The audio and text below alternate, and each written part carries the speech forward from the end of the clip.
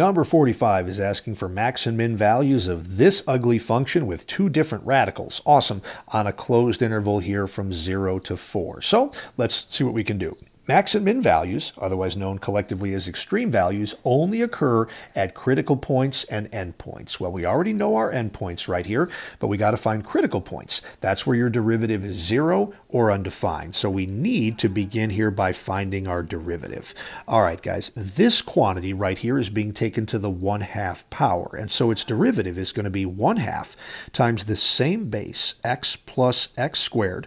Drop the power by 1. That's a negative 1 half times the derivative within. That derivative is going to be a 1 plus that derivative there, a 2x. Whew, that was fun. Okay, and then minus. Now this would be a 2 times the derivative of the square root of x. I'm hoping by now you guys know that the derivative of square root of x is 1 over 2 root x. But that 2 there is going to cancel out the 2 on the bottom. So it's just going to be 1 over the square root of x.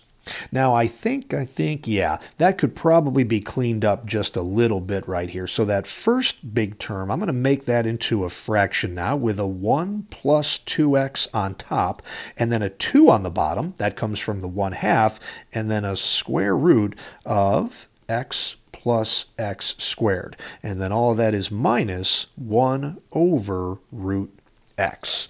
Whew, that's kind of a pain right there, but all right. That's our derivative. I'm not going to try, am I? Oh, it actually wouldn't be a bad idea. Okay, yeah, knowing where I'm going with this, those denominators are actually more similar than you think. The square root of x plus x squared, um, what we could do here, guys, is factor out an x there and make that a, nope, nope, nope, and make that a 1 plus x inside the parentheses right there. And then you can split that up and make it the square root of x times the square root of 1 plus x. So Here's what I'm actually going to do. I'm going to erase the denominator that I had, ooh, and that one right there, and I'm going to slide this red guy into its place right here, okay? And that tells me I'm closer than I thought to a common denominator.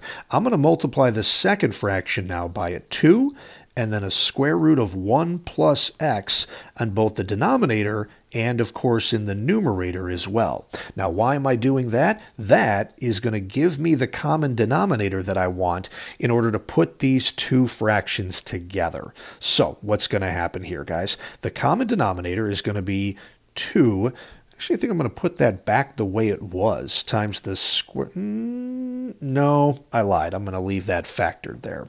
Changing my mind, sorry. 2 times the square root of x times the square root of 1 plus x. I got to follow my own rule. Factored form in a denominator is always better for us. And then in the numerator, we've just got the 1 plus the 2x right there, and then a minus 2 times the square root of 1 plus x. I don't think there's anything we can do to simplify that numerator. So, okay, guys, there is our derivative written as one big ugly fraction. Now, what do we do from here? All right, critical points come from where your derivative is either zero or undefined. So, as I talked about on the previous video I just made, I'm going to kind of cut this problem in half right now. The derivative equaling zero, y prime equals zero, is, is when the numerator of your denominator, 1 plus 2x minus 2 times the square root of 1 plus x is equal to 0. The derivative being undefined, that happens when your denominator, 2 root x times the square root of 1 plus x when that denominator is equal to 0. That would make the derivative undefined. So what am I going to focus on here first? That thing I've got on the left over here looks like a monstrosity, and I'm kind of thinking, to be realistic with you guys, we would probably use our calculator to solve that. I think it could be done by hand, but it would give us a quadratic and be kind of a pain, and, and yeah, and I, I think we're not going to take the time to do it that way. This one, though, I think we could actually solve pretty quickly. You've got a three-factor expression now whose product is equal to zero. So you would take each factor, set that equal to zero, and solve. Well, the first one is kind of dumb here, guys. 1 plus x equals 0. 2 will never equal 0, so forget about that. This will happen if x is equal to 0. This will happen mm, Yeah, if x is equal to negative 1. Now, quick check though, guys. Are both of those values in your domain here from 0 and negative 1? I see right here, oh, no, I'm sorry, I don't even need to think that hard. They told us we're only looking here from 0 to 4. What I noticed, the negative 1 doesn't work right here because it gives you an imaginary result. But 0 is in the domain of this function, so I've got to keep that value right here, but throw this one out. Now, as I said, this one on the left is really, really messy, so I think we're going to use our calculator to solve that. So, whoa, sorry about that, everybody. That was probably disorienting. All right, so I'm going to go to, let's see, my Nspire CAS app, which I have here somewhere. Sorry, guys, I didn't know I was doing this. And I'm going to add a new thing right here, and let's do a calculator page. All right, and here we go. We're going to solve this thing, everybody. So I'm going to go to my algebra menu here and go solve. And then, all right, what was the equation that we just had right here, guys? 1 plus 2x, and then minus 2 times that that's right there. So a 1 plus 2x, and then a minus, and I think that was a 2 times the square root of, where did it go? 1 plus x. All right. And all of that was going to equal 0. 2 times the square root of 1 plus x. All right, let me get out of that radical right there. All right, it is equal to 0. Got to put a comma right here, and we want to solve this thing for x.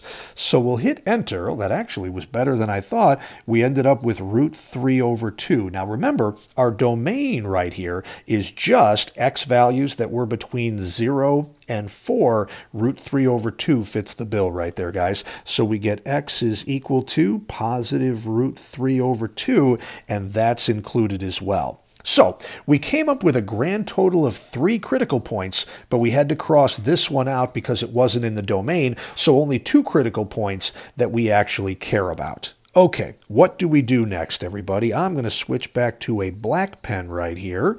Come on.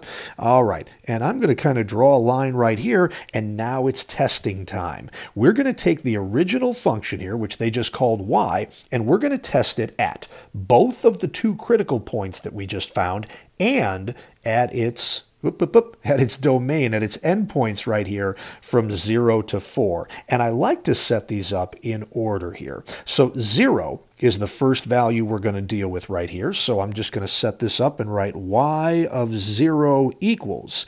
Then Oh, interesting. I'm sorry. I thought four values, but zero was one of the critical points. That's also an endpoint, so it kind of does double duty. So then the only internal critical point that I found is root 3 over 2. I got to test that one. And our right endpoint now is going to be y of 4, and that's what we're looking for.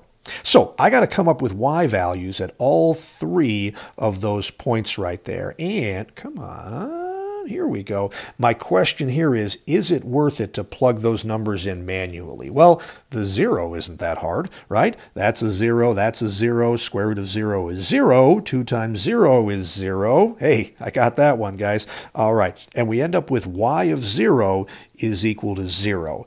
Unfortunately, ooh, the root 3 over 2 is going to be a mess. Maybe the 4 isn't that bad. Let me play with that one a little bit. We've got a 4 uh, let's see here, guys. That's a 4 plus a 16. So we end up with the square root of 20 and then minus 2 times the square root of 4. 2 times 2 is 4.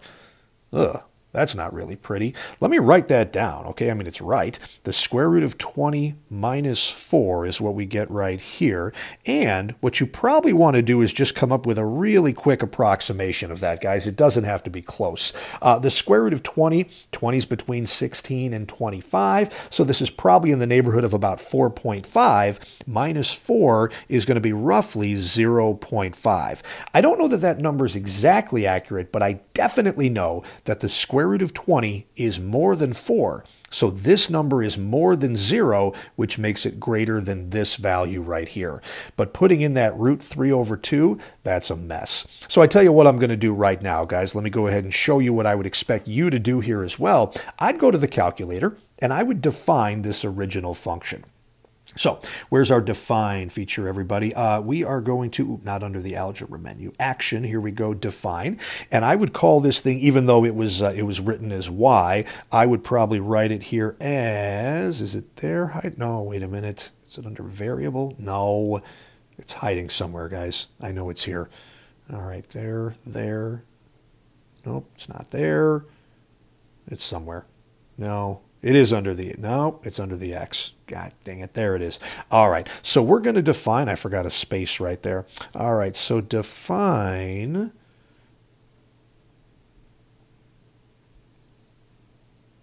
Oh, jeez. All right. Space bar right there. Okay, gotcha. And then back to this.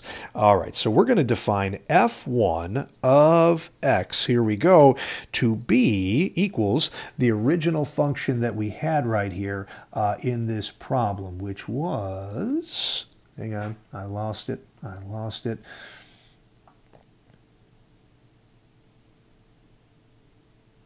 Let's see we were, I can't even remember what problem we were working on here, guys. It was number, do, do, do, do, do, do, Okay, number 45. That's the one we were looking at. All right, x plus x squared and then minus a 2 root x. All right, so back to the calculator right here. It was equal to, we had a square root of and an x plus an x squared get out of that radical. Okay, got it. And then a minus 2 times the square root of x. Okay, so there's the original function. And just to make sure that we did this right, let me go ahead and evaluate f1 of 0, which I was pretty sure was going to equal 0. Good.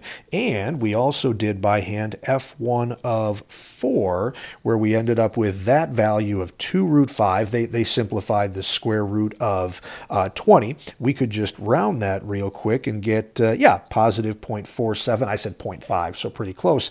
Now what we needed, though, a little bit of a pain here. This is what I needed the calculator for. f1 of, all right, what, guys? The square root of 3, get out of there, and then divided by 2. So, oh my gosh, that gave us that. I think I would prefer that number as a decimal. Negative 0.590 is what that one would be if we rounded it. So let's do that. Negative 0.590, negative 0.590.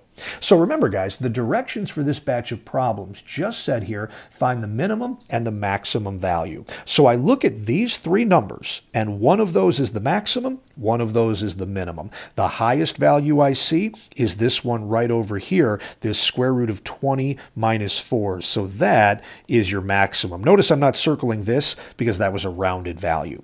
The minimum is the lowest of those three, which is the only one that's negative right over here. That's really all we need to do for the answer. But to be clear, uh, clear here, guys, this is an absolute min. This is an absolute max. This value right over here is the y value where your function starts. And then the next important thing it hits is lower than that. What we have right here, guys, is a relative maximum. The function started here at a y value of 0, went down to a value of 0.590, and then went back up to its highest y value of root 20 minus 4. So you didn't need to provide this in the answer. This is what they wanted here, but that's just a little way for you guys to, to make sense or interpret of what we came up with for that result. Okay, so that was number 45.